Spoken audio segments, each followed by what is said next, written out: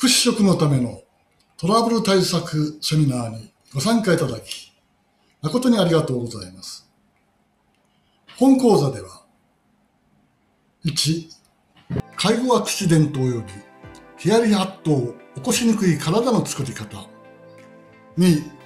施設の職員に対する利用者からの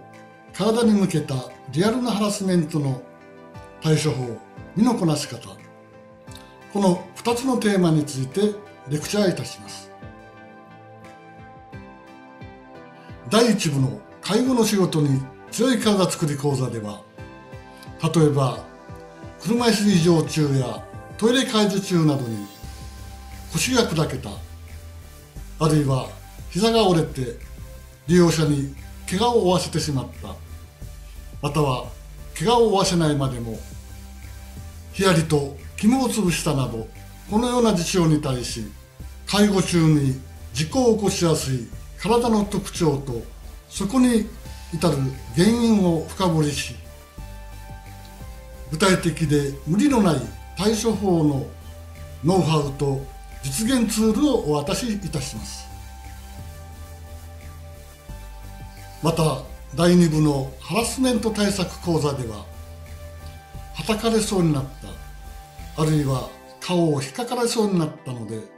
無意識に払ったらあざを残して弁明に迫られた。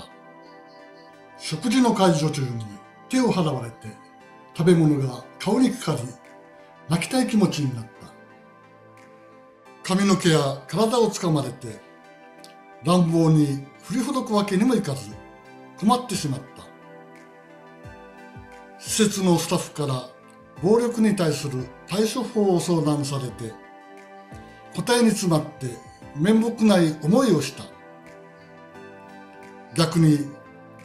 暴力のことを上に相談しても拉致が開かないことにショックを受けたなどハラスメントにまつわるトラブルや悩みから利用者に怪我やあざを負わせることなく優しく収め沈めながら職員の心と体を守る体さばきそして想定されるさまざまな暴力の場面に対処する具体的なテクニックを伝授いたします。